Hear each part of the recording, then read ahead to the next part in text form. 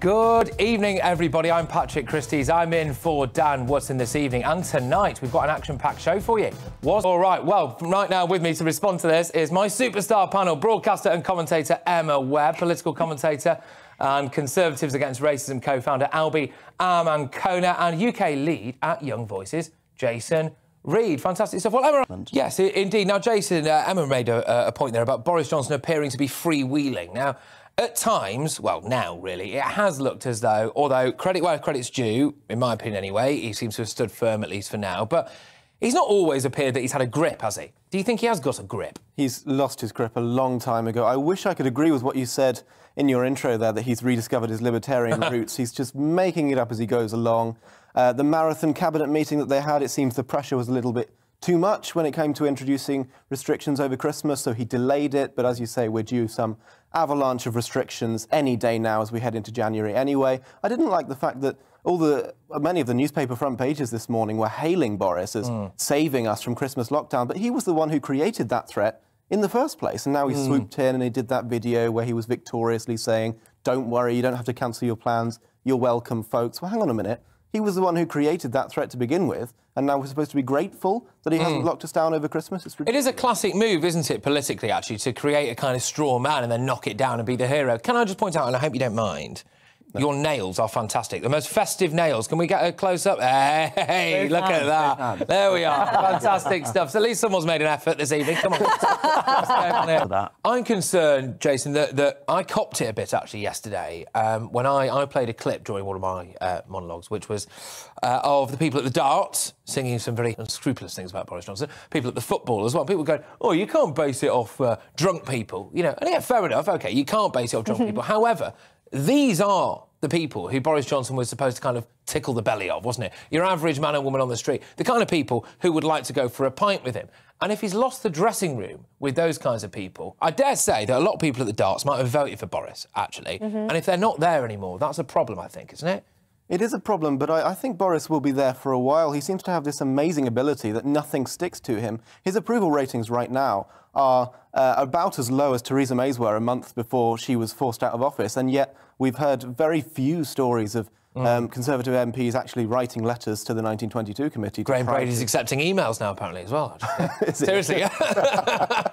They're moving with the times, yeah. it's, a modern, it's a modern, a modern Conservative party. But no, go on. Do you, do you, think it's a problem that he's lost the dressing room, maybe? It's it's becoming more of a problem, but I, I struggle to see a point at which he actually gets forced out. He's got that huge majority. He's still riding the wave of the fact that he delivered Brexit. The pandemic will be over soon, and he will get a boost from the mm. fact that our freedoms will come back permanently we hope, fingers mm. crossed. Uh, I don't see him losing the next election if he makes it that far. I think all, in all likelihood he'll be there for seven to eight years at least. Mm. Would like to be proven wrong. Um, I don't think the January lockdown will be the end of Boris, but I think if the May elections go as badly as North Shropshire did, that'll be a huge problem for him. I wish it would be the end of him, but I, am oh. not optimistic about it. Could you vote for Keir Starmer? Do you know, I, I, think I'd be tempted for the first time ever to, yeah? To move. Do you also enjoy going, you know, curtain shopping at B&Q on a Sunday? That... that's unfair. He is, of course, a nice chap. Uh, but anyway, right, thank you very much. We will, we will continue, we will return to all of this, uh, allegedly. Because isn't there some truth to the claim that the only reason that these people set sail in what are quite often very flimsy dinghies, because they do so in the knowledge that 99 times out of 100 our Coast Guard will pick them up? The primary issue has to be people's safety. Nobody deserves to uh, be stuck in an inflatable raft in the channel and find themselves drowning. I can't imagine how desperate you have to be to clamber into one of those obviously unsafe uh, rafts, having given probably all your life savings to a people smuggler in order to have that privilege in the first place. The part of this um, investigation that I don't like is the fact that the French and British uh, Coast Guards are being lumped together. It seems to me the French carry a lot more responsibility mm. than the Great. British do. There was one, um, one particular day where they, they stopped as few as 8% of uh, the boats uh, from leaving the shore to begin with, and yeah. most days it's, it's a very low figure as well. They're just not doing enough to fight the but if, if, if the two survivors from the disaster say they, they put out calls to both the British and French Coast Guards, and neither responded, then they're both equally responsible, aren't they? I think it was in French waters, though, from what we can gather. But that's not the point. If they put distress calls out to both coast guards and neither of them helped, aren't both of them equally responsible? Doesn't it depend whose waters they're in? I think that's disputed. I think both claim that it was the other's waters. There was obviously some Exactly. confusion. this And also, I wasn't there. obviously. This is why I think we can all be in agreement that it's a good thing to have an investigation and get to the Exactly. bottom of it. Could give you first dibs on the next one. All right. So the government have been behaving like a bunch of jokers recently, what with their enactment of Plan B and threats of cancelling Christmas yet again. So perhaps we shouldn't be surprised by Sajid Javid attempting to spread some festive cheer as well as essentially booster propaganda with a bizarre and some might say Trumpian use of memes. So the health secretary borrowed a clip by the John Hopkins Bloomberg School of Public Health riffing on the Christmas classic Home Alone, in which, of course, Kevin McAllister represents the vaccine fighting off Omicron and Delta, depicted as the Wet Bandits. I think we can have a look at it now, can we?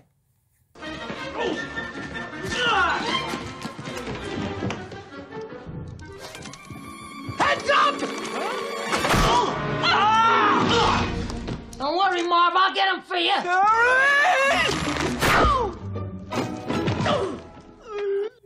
I mean, look, we, it's got us talking about it, Jason, hasn't it? I suppose it's done its job. It has, but Sajid Javid could do, do anything and we'd talk about it. He's a very interesting guy, isn't he? You can't Oh, he's, he's great at parties, I imagine. I'm sure he is.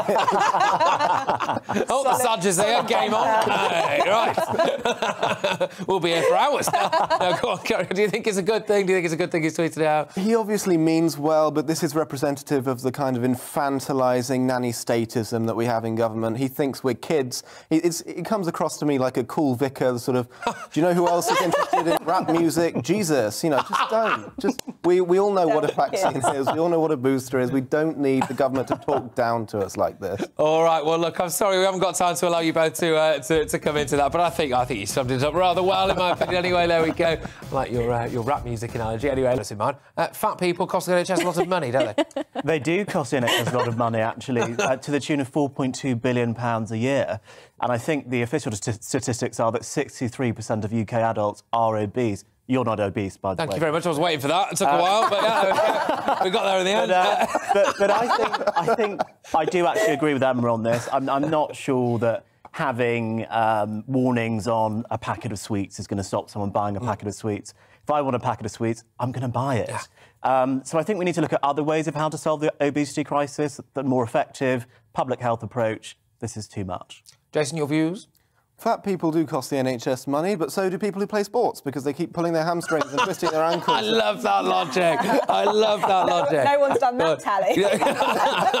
yeah, it's about time we had the truth. You know, go on. We pay into the NHS just like everyone else does. We have just as much of a right to use it as everyone else does. This is exactly as you were saying, Emma. This is infantilizing nonsense. Nobody's bamboozled by the fact that chocolate has sugar in it. Um, and it's just emblematic of this miserable worldview that you're just trying to enjoy, you know, a nice piece of cake or something, and someone pokes their head over your shoulder. Have you thought about the diabetes risk with that? Yeah. Leave me alone. yeah, exactly. There's nothing wrong with a bit of cake either. Everything in moderation is good. Yeah, well, Everything well, in where, moderation. Where do you stand, Jason, on, on the fact that we do have warnings on cigarette package? We don't even have branding now on cigarette packages, it's just someone with a tumour normally. So where do you stand on that? Should we not have that, do you think? Well, the, the data shows in various case studies around the world that people quit smoking when they want to quit smoking, when they have access to the tools to quit smoking um, that the NHS provides very well, and that they don't quit smoking because they've learned for the first time that smoking is harmful by seeing it on a cigarette packet. Uh, exactly as you were saying, Emma, this is a libertarian thing, right? Boris Johnson used to call himself libertarian. Yeah. He used to talk about Britain Back as a the land of liberty. When he was elected to the Tory leadership in 2019, he talked about the need to roll back the continuing creep of the nanny state. Uh, and now he's a completely different person. I think the turning point was when he got COVID himself, um, and he put a lot of that down to his weight. And then he thinks the rest of us need help to lose weight, even though he didn't, which doesn't. I don't follow the logic there. No. Uh, but he just needs to leave I us think alone. if you cut him open, he'd just be four fifth wheel of cheese and some pork. That's, uh, uh, opinion. Now, Jason, go on, hit me, you greatest Britain.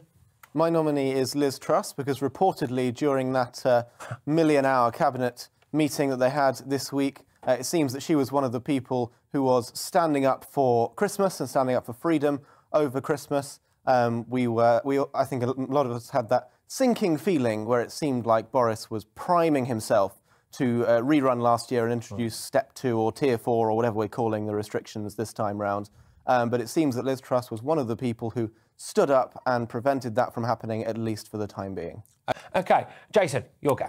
I felt absolutely spoiled for choice with all the different authorities who are going out of their way to make our lives miserable by panicking about Omicron and causing all kinds of economic and mental health uh, issues by introducing new restrictions. I went in the end with the Northern Ireland authorities today, who decided to um, close nightclubs in the name of fighting Omicron, but it could have been a million others. It could have been Mark, Gra- Mark Drake Oh, yeah. in Wales, Nicola Sturgeon in Scotland. It's just my Union Jackass really is uh, panic over Omicron, so you can't you can't not pick me now It's going to be very difficult for me to, to choose between these ones, actually. I must say, they, they are, thank you very, very much. I must say, I've had an absolute rip roarer of a show today, and thank you so much, everyone who's been tuning in. My wonderful panel, Emma, Albie, and Jason. Great to have you on the show. I must say, let's do it again very, very soon, all of you. So thank you, everyone, of course. Who